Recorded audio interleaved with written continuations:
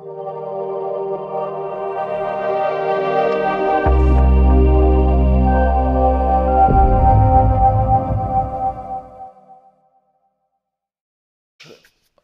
mijn YouTube kanaal en welkom nieuwelingen die mijn eh, YouTube kanaal of vlog gevonden hebben en ehm, iets met auto's hebben. Welkom. Naast mij staat een Mercedes C300e, een plug-in hybrid in een donkergrijze kleur.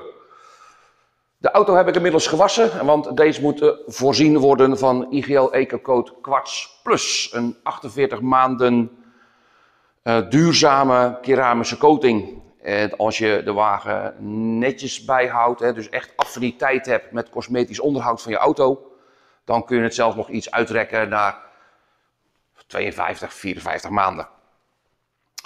Uh, de wagen, zoals ik gezegd heb, heb ik al gewassen. Ik ga nu even de deursponningen en de klepsponningen en van de motorkapsponningen even schoonmaken en droog maken.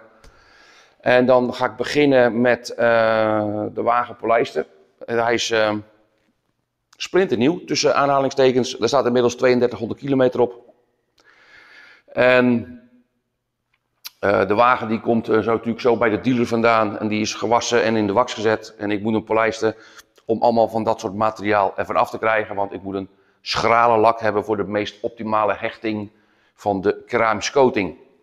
Dus ongeacht of een wagen splinternieuw is of een occasion is, uh, hij zal ten alle tijden gepolijst moeten worden om een zuivere, schone lak te creëren. En eventueel nog lichte, oppervlakkige krasjes eruit te halen uh, van het uh, wasprocedé, die waarschijnlijk vaak door dealers hand gedanteerd worden, eerst door de wasstraat heen trekken en dan, dan in de wax zetten.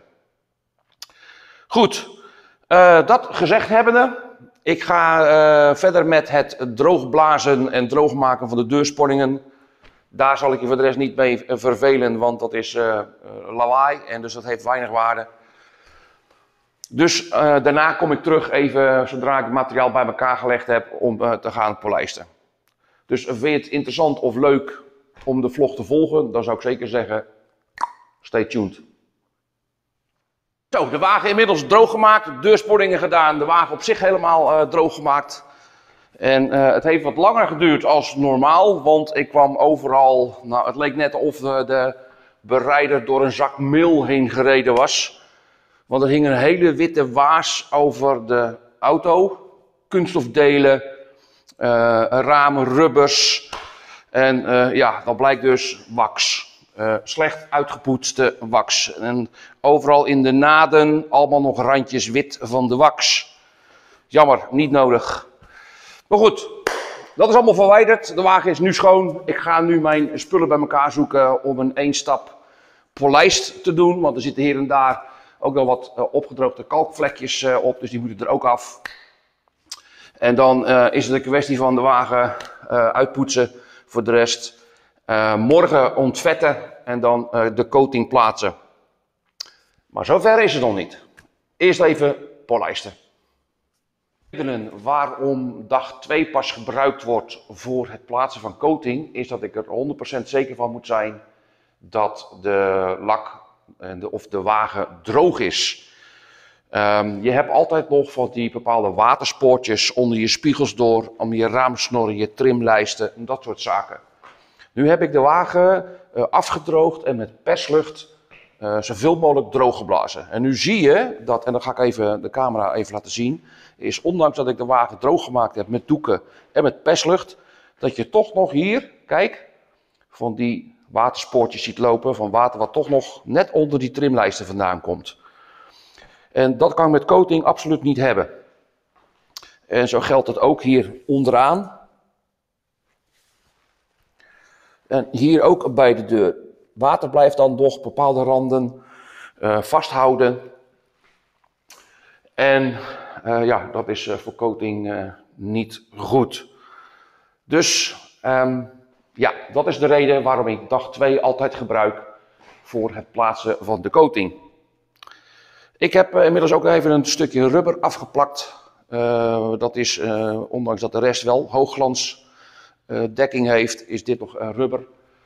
En dat geldt voor deze kant ook. Ook even afgeplakt. En dan de spiegel ga ik nog een klein stukje doen. En dan uh, ga ik beginnen met het polijsten. Ik zet nu even de camera terug in de houder. Excuus voor het trillende beeld. Zo.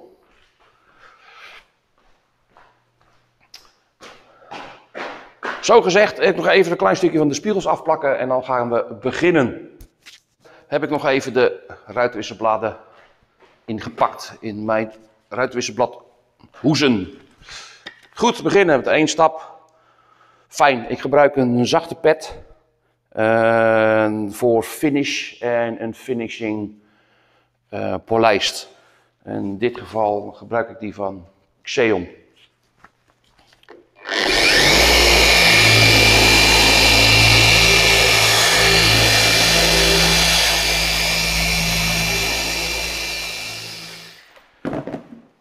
Het hoeft geen uh, zware polijstprocedure te zijn met een aantal stappen. Alleen de finishing is genoeg. Met de wrijving van de pet en het, de, en het polijstmiddel uh, trek je in principe alles wat op de lak zit, trek je er vanaf. En uh, maak of, of wrijf je kapot. En dat zie je ook dat nu vooral met de, deze verlichting, zie je het deel wat ik nog niet gedaan heb, zie je daar hele kleine fijne kalkspettertjes nog op zitten. En omdat het vrij, tussen aanhalingstekens, verse lak is, uh, is dat makkelijk te verwijderen. Door met name een één stap polijster. Vergat bij te vertellen is dat uh, dit polijstmiddel, Finish 3, step 3, is siliconenvrij. Dus dat wil zeggen, er zitten geen glimmertjes in of uh, gladmakertjes. Echt puur een hele zachte polijslijn die uh, echt die finishing touch uh, geeft. En toch een hele mooie glans opbouwt zonder dat er siliconen in zitten.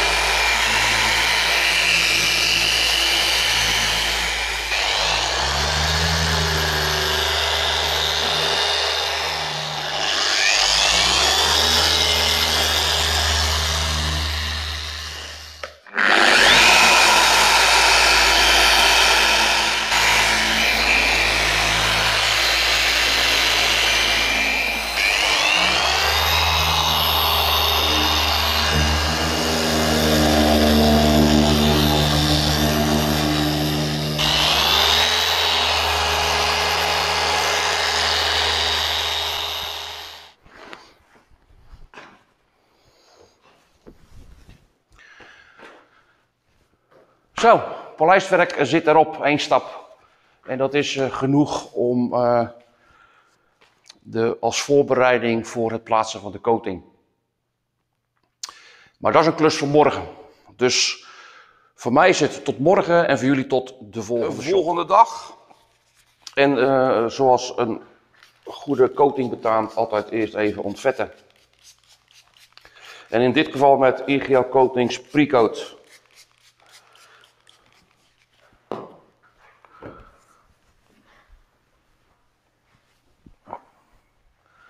om er zeker van te zijn dat alle resten van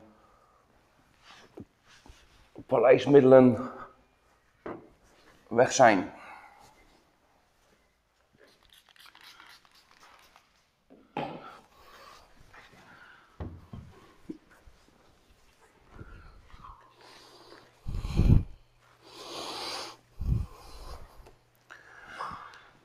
Zo, ontvet.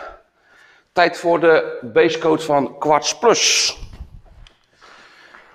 Zo, hier gaan we. Eerste ronde. Flesje met het zwarte label.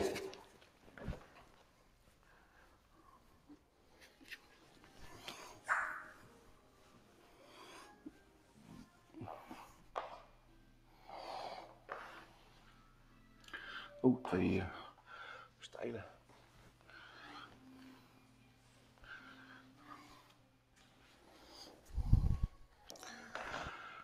Zo, de basecoat zit erop. Quartz Plus is een twee component coating, een basecoat en een topcoat. En uh, nu moet de basecoat een aantal uurtjes drogen voordat ik de topcoat kan plaatsen. En dan staat er uh, een keramische coating op deze Mercedes van een duurzaamheid van 48 maanden. Bij netjes cosmetisch onderhoud. Inmiddels een stukje verder in de tijd. Nu het witte flesje, of het, het groene flesje met het witte etiket. Dit is de toplaag.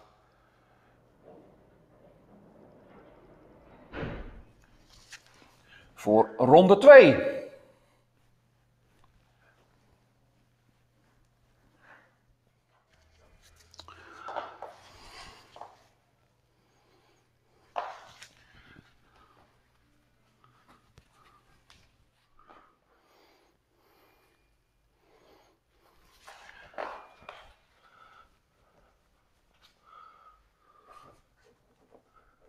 Zo, het laatste stukje in de coating, dat is nog de voorbumper en de zijskirts.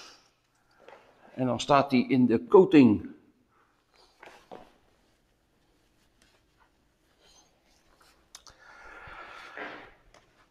De C300E is klaar. Hij staat in de coating. Nu kan die drogen. Morgen laat ik, maak ik de laatste zaakjes af. Eh, zoals bandjes, velgjes, ramen. Nog even uitstofzuigen. En dan kan die terug naar de eigenaar. Maar goed, zover is het nog niet. Ik kom morgen bij jullie terug. En dan, uh, ja, laatste puntjes op de i. Staat er weer glanzend bij. De Mercedes is klaar. Uh, we zijn inmiddels bij de volgende dag aanbeland. En ik heb de laatste zaakjes afgemaakt de Mercedes even uitgestofzuigd. Raam even aan de binnenkant en de buitenkant gedaan. De banden gedaan in de dressing en de, de velgen in de wielprotector gespoten. Een spraywax die 6 tot 8 weken blijft zitten. En bestand is tegen pekel. Dus ideaal ook voor de winter. Voor je lichtmetalen velgen. Uh, ja, hele fraaie donkergrijze Mercedes, die uh, nu in de keramische coating staat van IGL Coatings, de Quartz Plus versie, 48 maanden.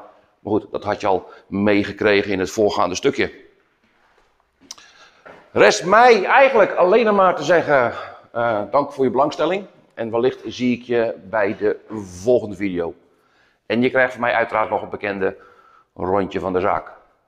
Tot de volgende keer. Ciao.